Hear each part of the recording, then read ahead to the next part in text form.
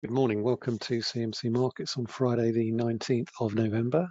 And this quick look at the week ahead beginning the 22nd of November uh, with me, Michael Hewson. And it's been a divergent, I think, a diverse week, a divergent week for equity markets. We've seen underperformance from the FTSE 100 for most of this week, while at the same time also seeing record highs for the likes of the DAX, um, the CAC 40, and obviously the wider Euro Stoxx, you know, Stoxx 50, the, the, the, the Stoxx 600 as well. And it's been a little bit of a strange one because I think one of the key takeaways from this week has been reports that have been basically trickling out from um, Europe that um, infection rates there are rising quite sharply.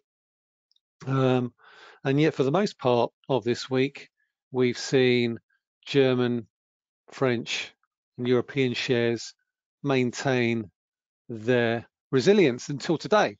Um, today, we've seen a little bit of a roll off um, on the basis that lockdowns are returning. We've heard the Austrian government announce this morning that they're implementing a 20 day lockdown.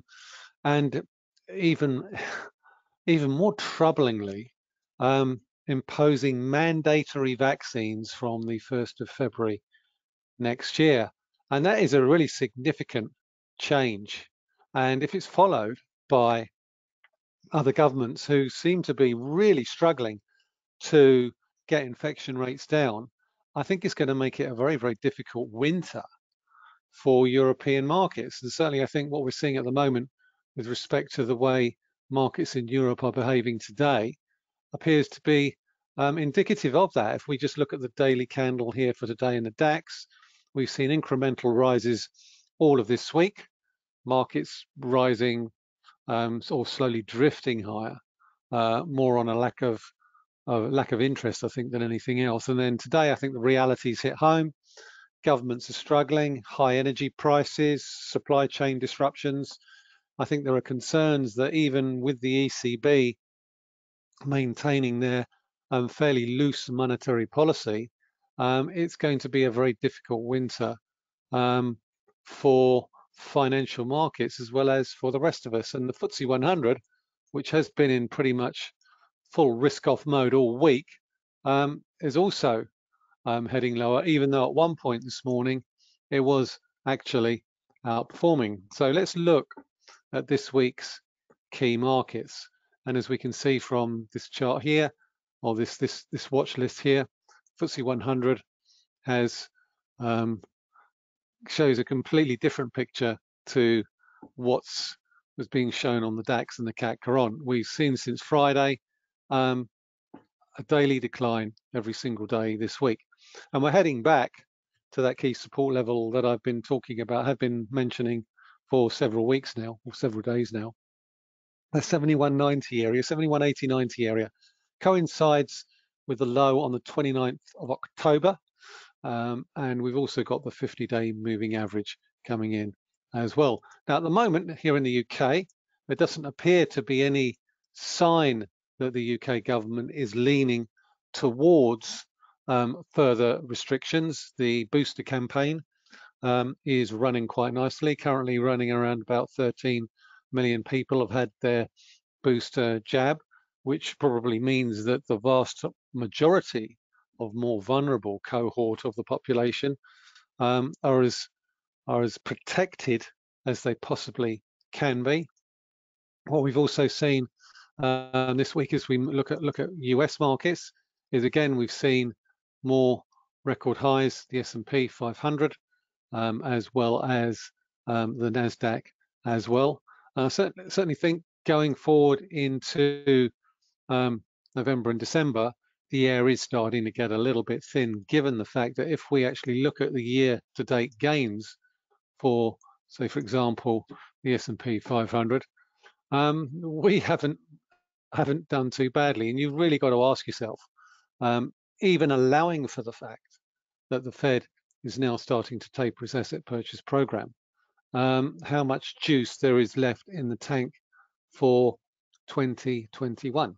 Um, we've had a whole host of central banks, sorry, it's not central banks, uh, investment banks um, revise higher their projections for next year for the S&P 500. We've had Goldman's talking about 5,100 for the S&P 500, um, which yeah, I think if you'd if you'd said that to me um, last year, at this time last year, I would have said was completely unrealistic. But now when we're at 4,600, you sort of you sort of question, well, actually, maybe there's a distinct possibility we could see that. Um, so what's what's happening? You know, what's happening today? Well, obviously, travel and leisure is getting hit hard um, on the back of these um, these these lockdown headlines and um, uh, mandatory vaccination headlines. Maybe this is just a, a little bit of end of week collie wobbles, and things will settle down as we head into next week, which is also Thanksgiving week in the US. And if we look at if we look back at some of the data that we've seen this week, by and large, it actually hasn't been that bad. We've seen some fairly decent earnings announcements. Um, we've seen um, some fairly positive economic data going forward. So when you look past all of these dark headlines and actually look at the actual numbers themselves, things are still um, better than they were, say, for example, um, this time last year. So I think sometimes it's important to um, when you have when you absorb these sorts of headlines, take a little bit of a step back, try and not get caught up in the noise of the headlines, and actually look much more dispassionately at what's happening with respect to the actual price action itself. So obviously oil prices have taken a step back on the back of these renewed lockdown fears which in, in some respects actually might be a blessing in disguise because it certainly does take some of the heat out of the inflation discussion. Um, earlier this week, we thought we saw UK CPI hit the hit its highest level in you know in in over 10 years at 4.2 percent. I think what was particularly notable was that, and it didn't really get widely reported, was that retail prices, the RPI, um, moved above six percent now, it's not been above 6% since 1990. It's 31 years ago.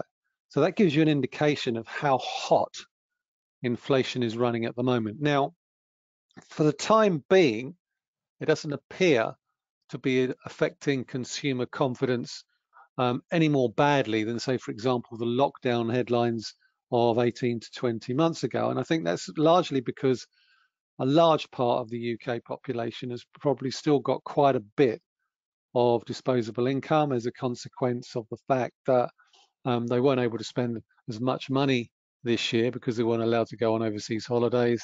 They stayed at home, um, probably took um, more short breaks than rather um, longer breaks.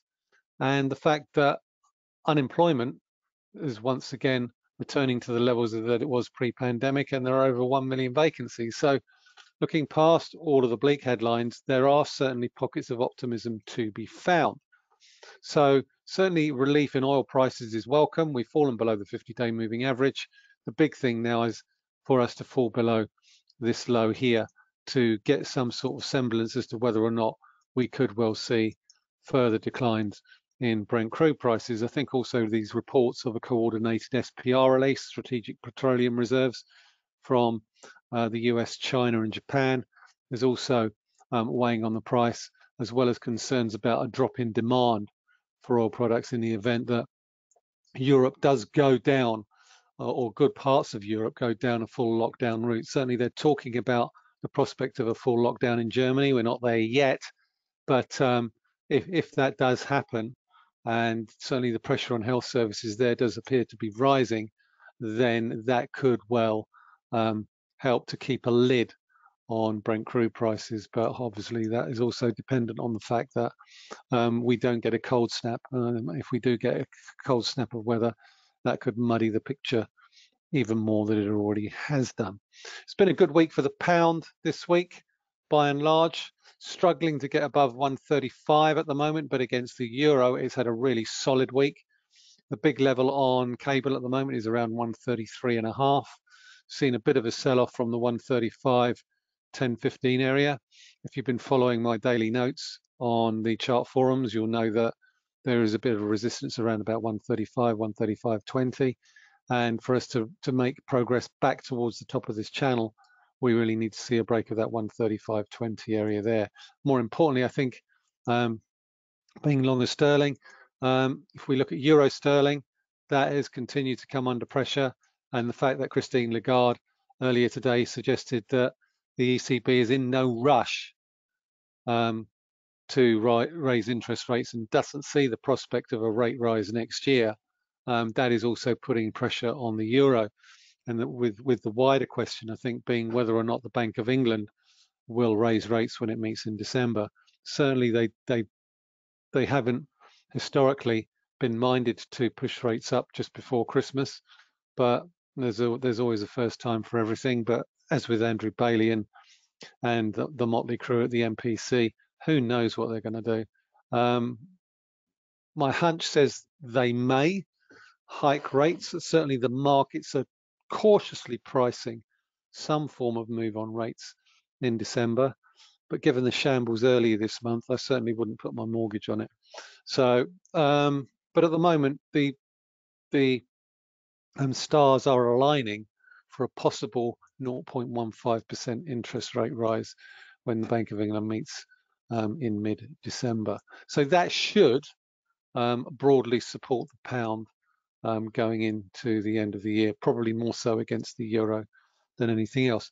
So as we look ahead to next week, we're fairly light on the data front. If we look at the way the dollar's performing, once again, that's breaking out to the top side. I don't think that is going to change. And certainly I think in terms of Fed policy speak, um, the likelihood is the dollar is probably going to continue to make gains and push up towards the 1000 level on the CMC dollar index. Um, this this level here and the, these these peaks all the way back here in September. Why do I say that? Well, we've got third quarter GDP out of the US on the 24th of November. We've also got PCE deflator, which is core, core deflator, which is the Federal Reserve's preferred inflation measure, and that is likely um, to move above uh, move above four percent um, from 3.6 percent to levels last seen in 1990. With, with the Fed minutes, latest Fed minutes also due out, I think it should create for an interesting dynamic when it comes to the tone of the conversations that were being had about the tapering of asset purchases. We all know that the Fed is tapering uh, $10 billion in treasuries and $5 billion in mortgage-backed securities starting uh, this month. The bigger question, I think, for me, is whether the discussion deviated into a higher monthly taper amount and how many people or how many MPC, FOMC members were calling for a higher amount. Certainly recent comments from the likes of James Bullard of the St. Louis Fed who is a voting member next year. He's not a voting member this year, but he is a voting member next year. And he's been calling for a faster taper of asset purchases um, when we head into 2022. And it'll be interesting to see whether or not there are any other um, members. Um, Raphael Bostic has also been a policy, a Fed policymaker who's been calling for rate rises next year. So the Fed is definitely tilting in a much more hawkish direction as we head into next year. And that's likely to, to I think, keep put upward pressure on the dollar. And that's essentially why I think cable is going to be very, very difficult to call. Because I think in terms of sterling, sterling is going to be very much um, a play probably against the lower yielding currencies like the euro, the Swiss franc, and the Japanese yen than it is against the dollar. Having said that, I would be surprised if it drops much below 132 um, as we head into 2022.